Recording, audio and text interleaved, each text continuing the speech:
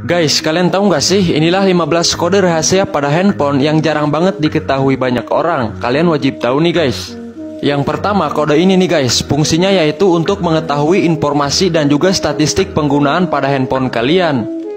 Yang kedua, kode ini nih, fungsinya yaitu untuk mengetahui nomor email handphone kalian.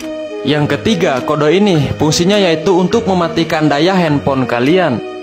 Yang keempat, kode ini nih guys, fungsinya yaitu untuk mengetahui respon layar pada handphone kalian. Apakah layar pada handphone kalian itu masih berjalan dengan baik atau bermasalah? Yang kelima, kode ini nih guys, fungsinya yaitu untuk mengecek warna layar LCD pada handphone kalian. Yang keenam, kode ini nih guys, fungsinya yaitu untuk mengecek kamera pada handphone kalian.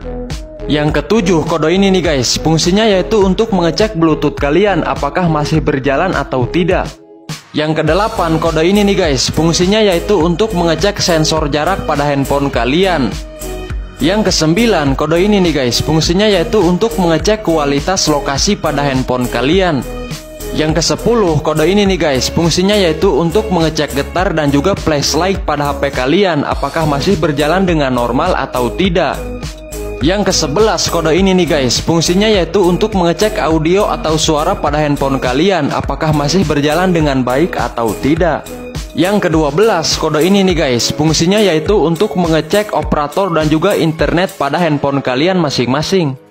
Yang ke-13 kode ini nih guys. Fungsinya yaitu untuk mengecek wifi pada handphone kalian Apakah masih berjalan dengan baik atau tidak yang keempat belas, kode ini nih guys, fungsinya yaitu untuk mengecek software dan juga hardware pada perangkat kalian masing-masing.